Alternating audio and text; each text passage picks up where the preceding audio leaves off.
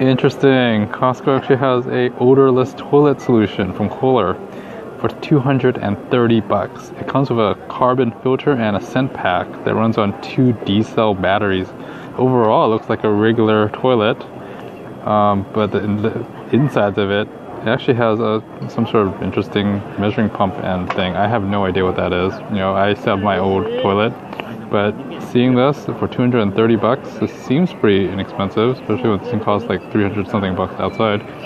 But overall, it looks like a normal toilet to me. You know, not, it looks kind of neat. It has a little hole there uh, that pass through, but overall, I think it looks really cool. It looks like a DeWalt um, color scheme in there, but otherwise, it's basically supposed to flush smarter and put more power in the flush, I guess, with less water, I guess. But it's at 1.29 gallons per flush. Pretty interesting. Um, it's supposed to be that soft quad. There's no outlet required because it uses D batteries. It has that aqua piston apparently, and carbon filter and fan, and a scent pack. How cool! And LED lighting. Neat. It's kind of interesting, but you think about it. If you could afford a two or three hundred dollar uh, toilet, you know, you probably have a exhaust fan in your toilet too unless you you're in one of those um, newer homes where it's like the toilet and the shower is shared, then maybe this would be useful. Anyways, long story short, found this out at Costco the other day and that was pretty interesting.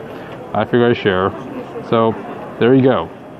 Odorless toilet from Kohler at Costco. Fun stuff. See ya. Like, subscribe, all that fun stuff. See you next time. Goodbye.